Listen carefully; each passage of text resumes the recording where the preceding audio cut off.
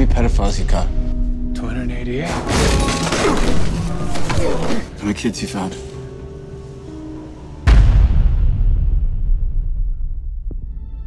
It is the fastest growing international crime network that the world has ever seen. It has already passed the illegal arms trade, and soon it's gonna pass the drug trade.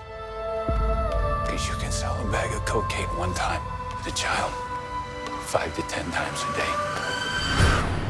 God's children are not for sale.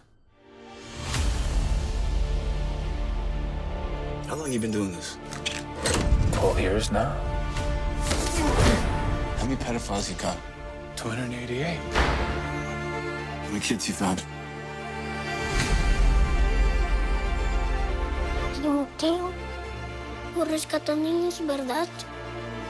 ¿Puedes ayudarme a encontrar a mi hermana? Te lo prometo.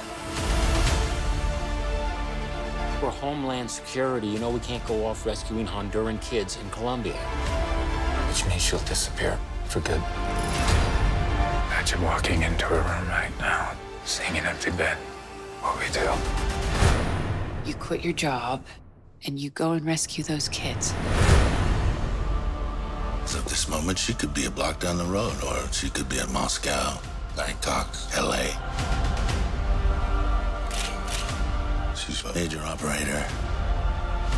It's all rebel territory. No one goes in. Not the army, not the police, not us. What if this was your daughter? There's no Marine unit coming. You're on your own. This job tears you to pieces. And this is my one chance to put those pieces back together. When God tells you what to do,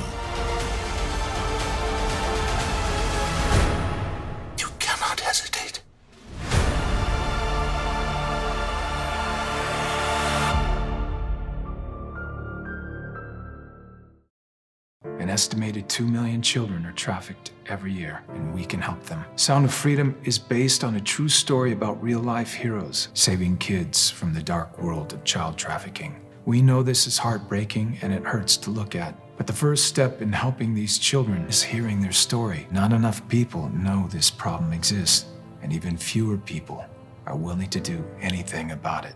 Our goal is to inspire 2 million people to attend the film's opening weekend to represent the 2 million trafficked children around the world. To spread the word, Angel Studios set up a pay it forward program where you can pay for someone else's ticket who might not otherwise see it.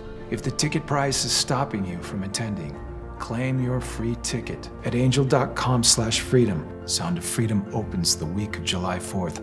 Every parent, every adult, and every teenager in America should be there to see it. If millions of us come together today to see this film, we could propel the movement to help save millions of children around the world.